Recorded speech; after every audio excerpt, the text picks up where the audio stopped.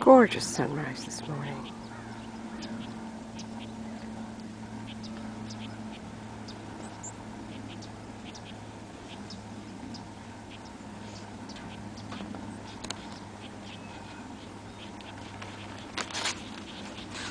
And AJ, I'll bet is AJ.